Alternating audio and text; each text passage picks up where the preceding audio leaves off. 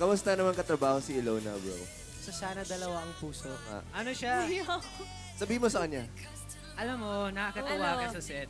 Yeah, you're very, ano, Oh, alam niyo sa mga scenes, ano, Wait lang, niya patapusin ako mo eh. muna, Wait Ilona. lang, kasi May he's sinasabi. laughing at my face. Kailangan maging seryoso sa isang scene. Hindi Eh, lang tumatawa tinatawag siya. doon kilig. Kilig lang yun. Ay, we, may ganun. Uy, Di ba, Hens? Kilig. ano ba yung Ano ba yung kilig? Kilig Hindi, ka kasi ano, one time, ah, nung last taping, tawa sila ng tawa sa mukha ko. Like, especially ito si Bakit? Elona. Anong meron sa mukha mo? Bakit, Ba- Ilona? bakit nga kayo tumatawa sa akin? Like, lahat sila sa set sumatawa, hindi ko alam kung bakit. Ano sinabi sa'yo? Yung pala, Why are you laughing at Tingin him? ako sa salamin, meron akong crumbs sa face ko na pagkain. Like, Why kaya were you tumatawa ng laughing tawa. at him? Nahulog pa yung mga crumbs eh, sa mukha mo.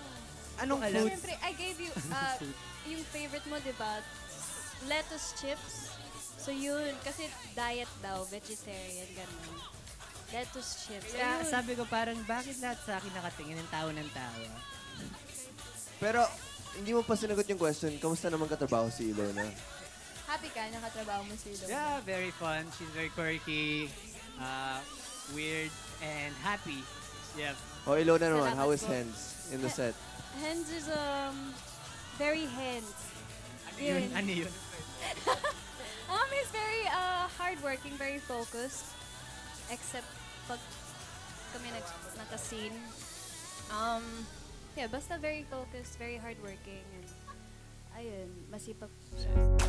ASAP, let's celebrate.